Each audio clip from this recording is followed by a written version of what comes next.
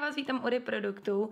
Kdybych měla tohle video vydávat v takové frekvenci, v jaký chcete, tak mám pocit, že bych musela mít asi 40 obličejů a 20 těl.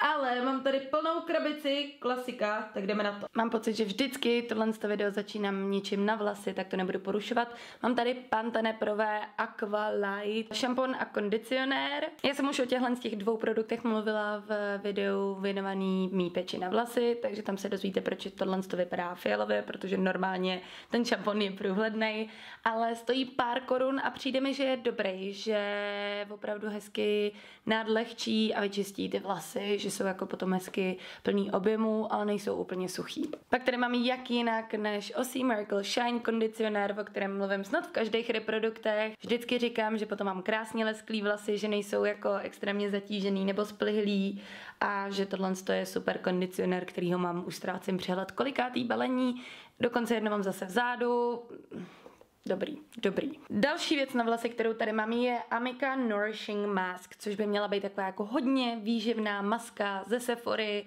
Je to trošku dražší produkt než to, co jsme mluvili předtím samozřejmě, ale tahle maska byla fajn, zase neměla jsem pocit, že mám po ní jako upláclý vlasy, ale opravdu dělala svoji práci hezky. Jediný co, tak jsem jí teď na stránkách Sephory vůbec nenašla, takže jsem trošku zmatená z toho jako jestli vlastně vůbec jí Sephora ještě má nebo ne. Mám tady několik barev na vlasy, který jsem do téhle krabice začala házet až nedávno, ale mám tady například Arctic Fox barvu na vlasy. Má být úžasná v tom, že prej strašně dobře vydrží. Přiznám se, že to mi vůbec nepřišlo.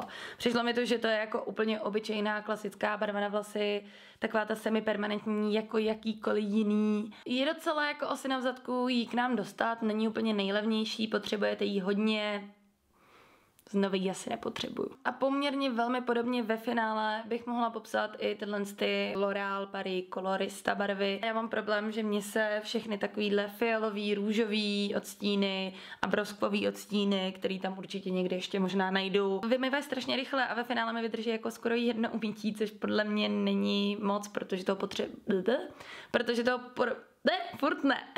Protože toho produktu potřebujete docela dost. Já nemám extrémně dlouhý vlasy a stejně mám pocit, že mi ta jedna lahvička vydržela skoro na dvě aplikace. Většinou jsem výchala víc barev, takže je to jako těžký říct. Takže ve finále to není úplně nejlevnější záležitost a myslím si, že se to dá jako očůrat jinak Vys moje video, zase péči o vlasy. Přiznám se, že asi jako nejvíc zklamaná jsem z tady téhle permanentní barvy. Tohle je black, ne blue black, jsem chtěla říct black blue. A je to permanentní barva. Tudíž by měla na hlavě vydržet. Nevím, jestli vám přijde, že mám modrý vlasy, ale já ji tam mám tak jako měsíc, dva. Není to modrý, že ne? Hm. Tak, teď už tady mám klasika králíky z klobouku, úplně random to tahám. Mám tady shower gel od Naturalium, který voní krásně po kokosu. Já mám jejich sprchový gely strašně ráda. Jsou hezky jako krémový, jde přepěněj, čistěj, bla, bla, bla a krásně voněj. Přijde mi, že ty jejich vůně jsou hrozně málo chemický, že jsou prostě jako reální, uvěřitelný kokos je úplně skvělej. Má to hezký obal, není to drahý, koupíte to v drogeriích nebo v Tesku nebo někde jako fakt dobrý. Tady je další kolorista, ta růžová, ta mi držela na vlasech snad úplně ze všeho nejmíň. Úplnej mini zbyteček. Tohle je Bioderma 50 olej ve spreji, já se většinou mažu 50. Tahle je z minulého roku, to znamená, že už je jakoby prošla, protože většinou tyhle věci mají garantovanou trvanlivost rok. Olej byl dobrý, měla jsem ho, myslím si, že je ten rok předtím, že se k němu vracím opakovaně. Je, yeah, tyjo, tohle to už bohužel potřebuje vyhodit, i když to nebylo vůbec špatné, tohle je Bela chladivý gel na nohy. Jsou tam jako maličký kousíčky, jako peeling, to nějaký, co to je za příchuť. Máta, červený pomeranč. Musím říct, že to vonilo nádherně, fakt to mělo chladivý efekt, bylo to příjemný. Na dny, kdy jsem byla fakt uťapkaná a tak, tak to bylo super, ale já tělen z těch produktů mám hrozně malou spotřebu, takže potom už bohužel jako v půlce potřebuju vyhodit. Odlečovací ubrousky, těch tady mám několik. Sephora, tyhle ty jsou s granátovým jablkem. Pokud vím, tak mě moc nevzali. Měla jsem kokosový, ty vím, že štípaly v očích. U těchto z těch si to nevybavuju, ale rozhodně to není něco, co bych bych si pořídila znova. Mám pocit, že tak extrémně neodličovaly, ačkoliv chválím balení. Pak tady mám uh, PS Love Your Skin, tohle to jsou micelární obrousky z Primarku, stojí pár korun. Na obličej to úplně teda není, já jsem je používala ve finále na to, že když dělám svoče do videa, tak uh, jsem tím utírala ruku, protože taky docela jako štípely a palily a rozhodně nebyly příjemný. Kiko obrousky, ty jsem měla teď nedávno a ty taky vůbec neodličovaly, mám za to, že byly suchý, uh, ne. No a největší asi propadák, hlavně vzhledem k ceně, je Estée Lauder Double Wear Long Wear Makeup Remover Wipes. Je jich tam sice 45, což je skoro vlastně většinou dvakrát víc než ve většině těch předešlých, ale uh, jsou suchý, nevodličujou, ani omylem, ani omylem. Další neholení tady máme talgo, tělový mlíko, lomeno gel proti jako celulitidě a tak. Mělo by jako formovat tělo a já nevím co všechno. Je jako hrozně příjemný, strašně krásně voní. Nemám pocit, že by mi to jako, nevím, že měla štílejší stejna, na to ani nevěřím, že bych to díky tomuhle měla. Je prostě strašně drahý a já věřím, že prostě mám oblíbenější kousky který dobře nejsou sice extrémně levný, ale jsou asi ve finále výživnější a mám je radši. Což je například Kiehl's Creme de Corps, který je opravdu mega výživný, mega hutný, ale hrozně rychle se doplatí vstřebává. Já tohle tělový mlíko mám ráda hlavně v zimě a vždycky, když do Kielsu přinesete vypoužívané produkty, tak vám dají nějaký miniaturky. Já si vždycky beru Creme de Corps, beru si jich třeba prostě 10. Miluju to na cestování. Mám už asi taky 20. milion tátý balení. Deodoranty, klasický téma reproduktu, kde já vždycky říkám, že mám ráda deodorant jenom do půlky lahvičky a pak mi přijde, že nic nedělá ale mám tady Nivea Invisible Black and White, která byla super. To se mi jako líbilo, to mi přišlo jako fajn. Pak tady mám úplně, bych řekla, stejnou věc od Rexony, Invisible Pure, zase bílý černý oblečení, že to neděláš mohy a tak podobně. A je to tak kompresovaná verze, já jsem si ji přivezla evidentně z Francie podle těch nápisů, taky byla dobrá. Přijde mi, že to Nivea jsem se asi oblíbila trošku víc. Mám ráda tyhle ty kompresované velikosti, to jako, to jako jo, než bych to házela úplně do kabelky, ale malý balení, to funguje. Prostě to vypadá rostomilejc. Mám tady asi 25 milionů různých masek na obličeji s mýma poznámkama, abych si všechno pamatovala. Tohle to si pamatuju, to, to byl propadák. Dermacol Hydrating and Nourishing Mask. Ta maska má hodně průstřihů, víc než většina masek, což je plus, ale ve finále mi stejně přišlo, že strašně blbě držela. Neuvěřitelně smrděla, strašně lepila a přišlo mi, že absolutně nic nedělala takže za mě ne. Tohle bylo původně duo masek, to byl letos dárek od Sephory k narozeninám. Byla tam jedna maska na oči, tu jsem ještě nepoužila, a pak tam byla růžová maska. Lotus Face Mask, aha, tak nebyla růžová, ale s Lotusem, pardon. Tahle ta maska nemá úplně nejlepší průstřihy, ale jako dá se posunout na tom obličeji tak, že to je v pohodě a hlavně na tom obličeji hezky drží. A byla příjemná, hezky hydratovala, já to většinou zkoumám, když jsem někde pryč a na schvál si nevezmu krém. Takovýhle věci já si dělám. A buď si to celý vyčítám a ještě do rána se proklínám, a nebo je to v pohodě. S touhle maskou to bylo v pohodě. On je to všechno ještě mokrý. Přiznám se, že tuhle masku si moc nepamatuju, nemám tady u ní lísteček. Tohle je Too Cool for School Egg Cream Mask a nezanechala ve mně žádné hlubší dojmy. To znamená, že není podle mě ani nějak jako excelentně skvělá, ani nějak excelentně špatná Rozhodně tady mám daleko lepší favority. Od stejné značky To Go For School tady mám tuhle tu Pumpkin 24 Karat Gold Mask, která má docela prďácký obal. Ta maska je uložená mezi takovými jako dvouma slupkama, což je super. A je to hlavně proto, že je neuvěřitelně tenká. Je úplně hrozně zajímavá. Je opět z jiného plátínka než většina masek, který jsem zkoušela. Je hrozně příjemná na obličeji. Skvěle drží. Je napuštěná spíš jako sérem než nějakým jako krém krémem nebo vodou. Tahle maska vůbec nekape, což občas bývá problém, že toho produktu je v té masce jakoby až moc a teď vám kape prostě jako nevím, na tričko nebo to a není to úplně příjemný. Ale na druhou stranu rozhodně to neznamená, že by v té masce nebylo dost produktu. To rozhodně ne. Je neuvěřitelně příjemná, hrozně hezky hydratuje. Byl to jeden z těch večerů, kdy jsem si nevyčítala, že jsem si vzala jenom tuhle tu masku a tu pleť měla hezkou jako a takovou napapanou ještě ráno.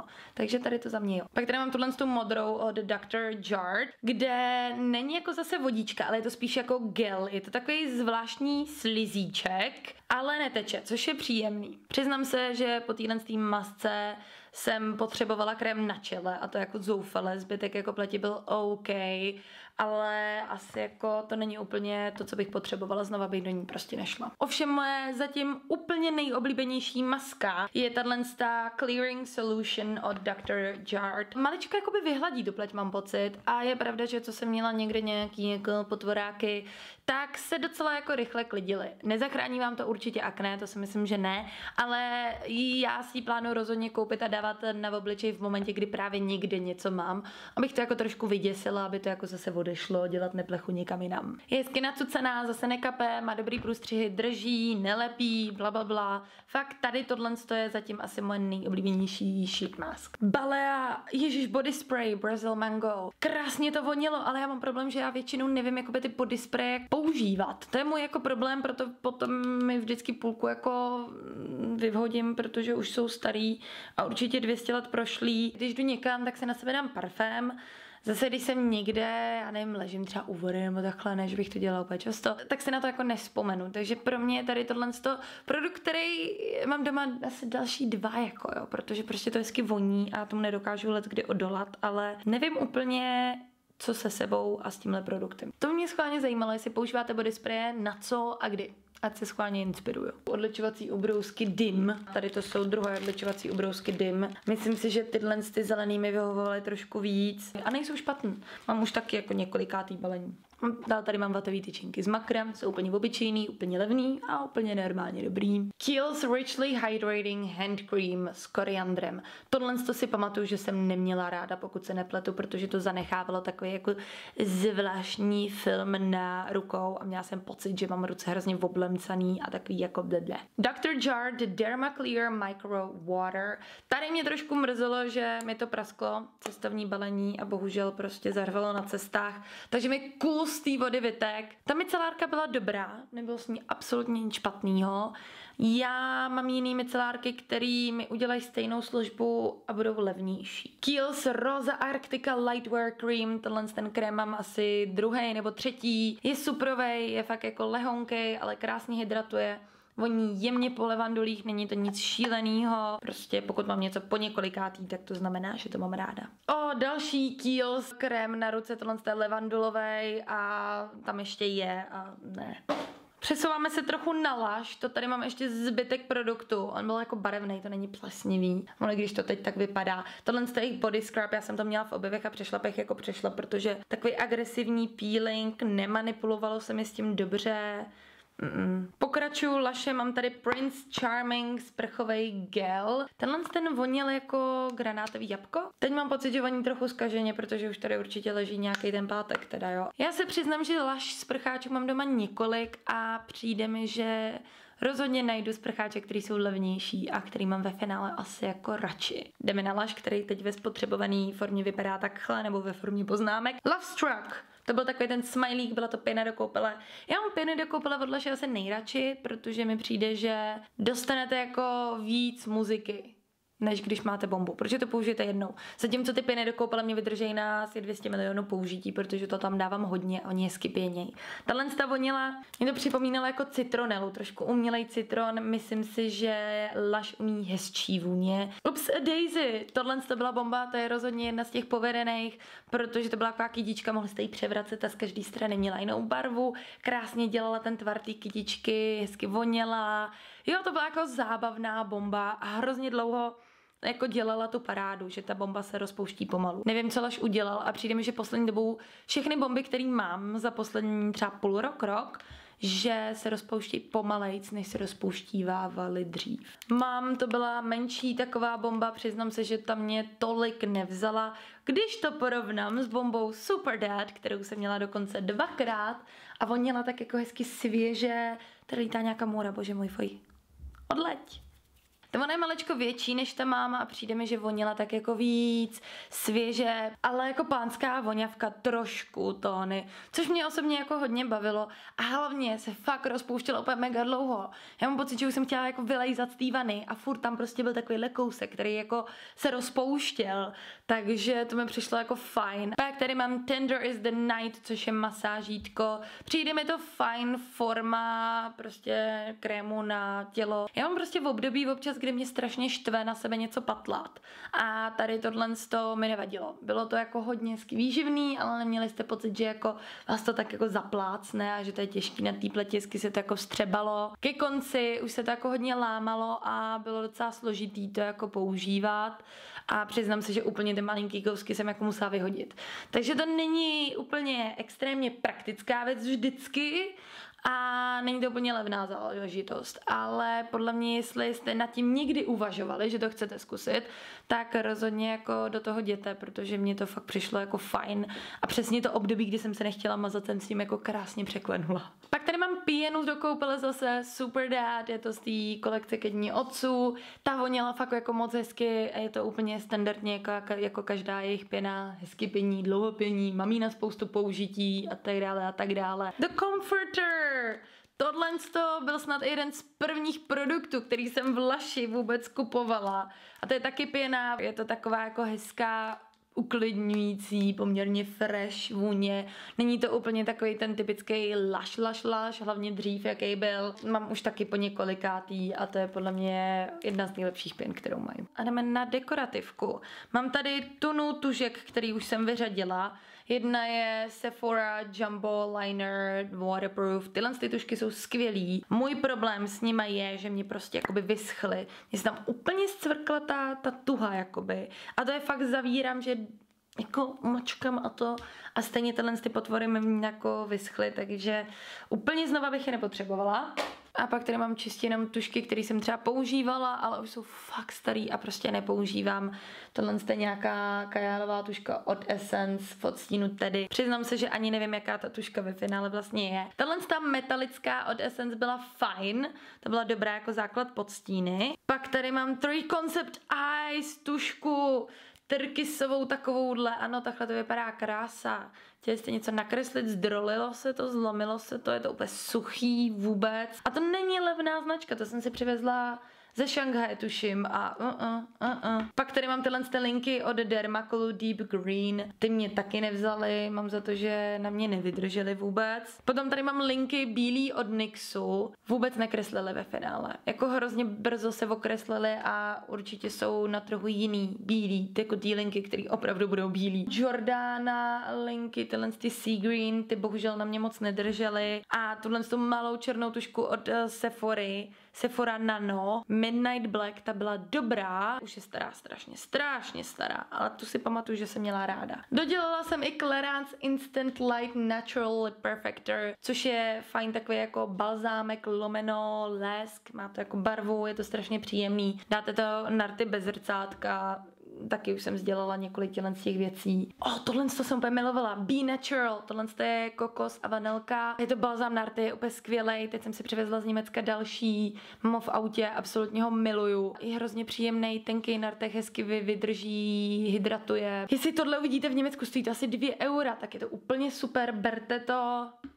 Jo. Tyhle ty linky, ty si pamatuju, protože jsem chodila asi do třech etosů, když jsem byla v Holandsku. Ty byly docela fajn, ale pak taky už jako vyschly a mám jiný modrý linky, které jsou víc fresh. Tohle byl Catrice holografický linky nějaký. Nebyly ve finále vlastně moc pigmentovaný, jestli si pamatuju dobře. Kiko Super Color Eyeliner, tyhle linky jsem měla moc ráda, krásná fialová se třpitkama, ale teď už jsou tak starý, že mám pocit, že se odděluje ta vodička a ten pigment a už to není ono. Tuhle bílou tušku od Max Factor, Tý asi 20 let, byla to jedna z mých prvních bílých tužek, to už musí pryč. Rimmel Magnifies, tyhle ty dvojitý stíny, které by byly fajn, ale bohužel ta tuha taky jako trošku vyschla a zase se uvolnila a ta modrá už se jako drolí. Pak tady mám hodně smutnou věc, tohle je Urban Decay Rupture, což byla moje oblíbená tvářenka a spadla mi úplně totálně, se rozsypala nemožno záchrany. Pravda byla jako slušně vymleta, ale bohužel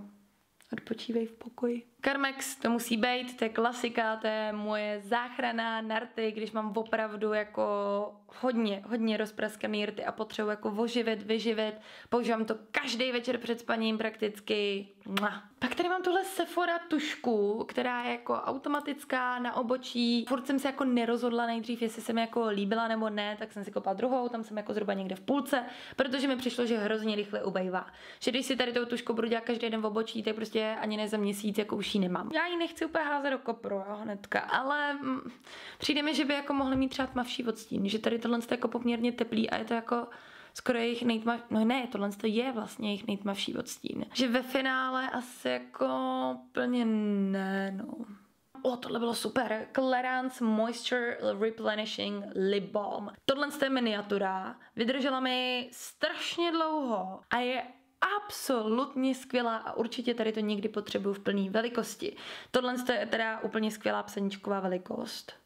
Kdyby to prodávali v takhle malý, tak to asi možná klidně koupím i takhle malý. Protože fakt všude do psaníčka se mi to vešlo, bylo to hrozně příjemný. Jo, jo, to se jim povedlo. Co mě moc teda jako nezaujalo, je Baleas World Kisses balzám, který voní jako na jednu stranu hezky, ale na druhou stranu chutná dost uměle. Mám po něm v puse hrozně divně a nedělá moc, takže to úplně ne. Lush the Kisses, lesknarty. Já jsem to brala spíš jako takový barvený balzámek, jsou v tom třpitky. Na těch kartech to vypadá jako hezky. Jako balzám najdu jiný alternativy, ale pokud se vám líbí ten efekt, že to je jako trošku třpitivý, trošku jako lesklý, tak si myslím, že by to jako mohlo být fajn. Najdete levnější alternativy, věřím, že jo, no. Transparentní pudry. Catrice Prime and Fine, víte, že tenhle ten pudr já jsem dlouhou dobu milovala, ale myslím si, že teďkon jsou na trhu lepší alternativy. Asi i tenhle ten Sephora Beauty Amplifier, který je fajn, ale i tak stále u mě vede